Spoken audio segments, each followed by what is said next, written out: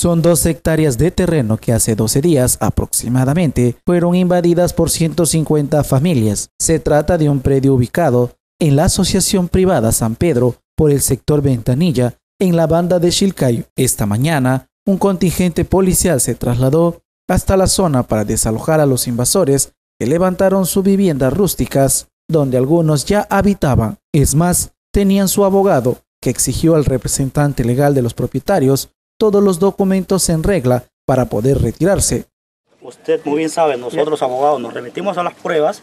A ver, por favor, ¿dónde está la vigencia de poder? ¿Dónde está la copia literal? Su DNI. Entonces, corroborado esa información que me lo acaba de dar de manera textual, voy a coordinar con toda mi población y tratar de llegar a un negociado. Si es que se frustra el negociado, nosotros nos retiramos pacíficamente. En primer lugar, en primer lugar, le comento. Sí, le voy a hacer entrega de estos documentos. En segundo lugar, sí o sí, no hay negociado. Doctor, déjelo al, doctor primero que, haga, su, haga su trabajo. Por favor. Este, ¿Tiene conocimiento de los documentos? La solicitud de desalojo, por favor, me puede proporcionar para yo poder este, conversar con mis patrocinados.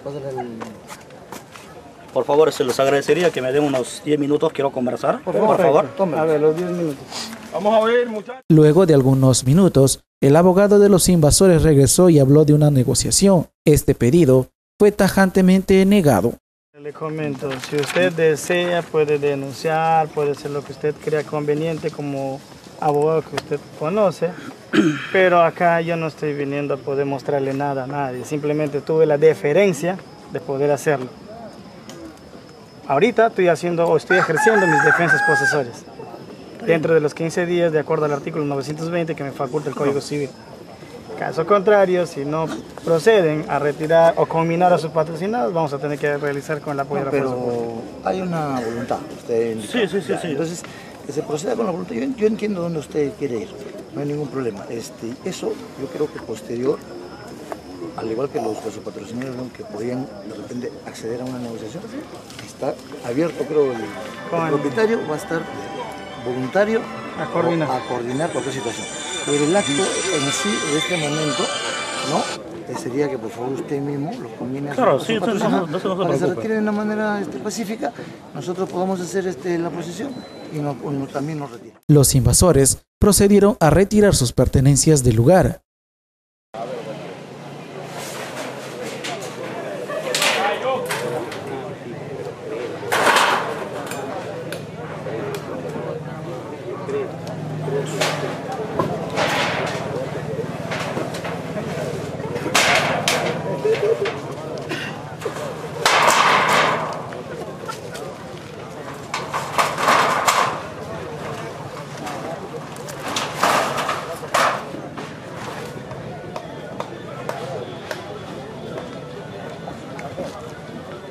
El fue de la semana pasada, me informaron que estaban invadiendo eh, lo que es una usurpación de propiedades.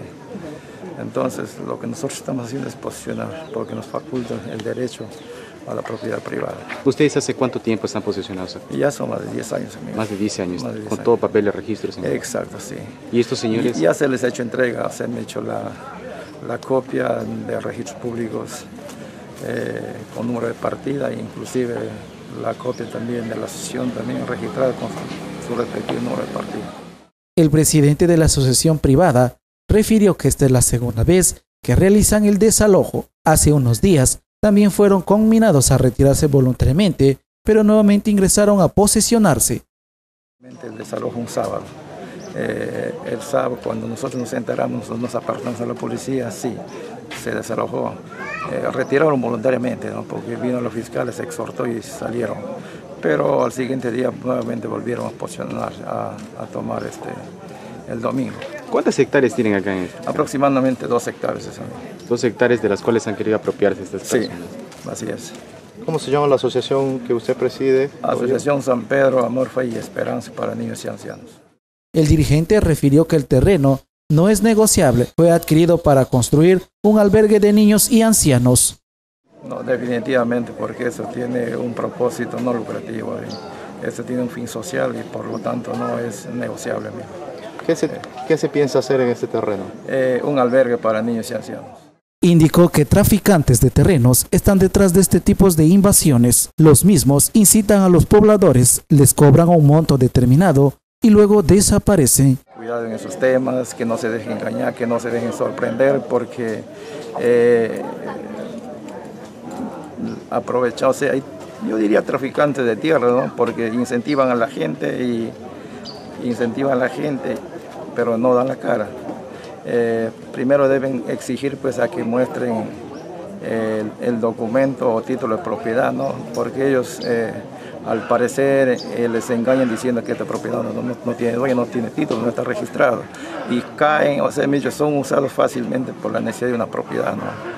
Yo exhorto eso porque esto es, este, sinceramente, crea una inestabilidad tanto eh, de la asociación y como de los moradores que han hecho uso, ¿no? Bueno, con, con de mentiras, ¿no? Y nosotros estamos acá a hacer respetar el, por el, eh, el respeto eh, irrestricto de la propiedad privada. Pacíficamente, ¿cuánto ha sido el tiempo para poder desalojar, para que estas personas puedan desalojar ese terreno? Bueno, pacíficamente se le ha hecho en el primer momento, ¿no? Pacíficamente se le ha hecho, apenas nos hemos enterado. Y se retiraron, pero en vista de que nuevamente han vuelto a posicionar, bueno, nosotros hacemos el uso de posición y acompañado con las autoridades que nos representan, que cuidan el orden y hacer cumplir simplemente eh, lo que nos faculta.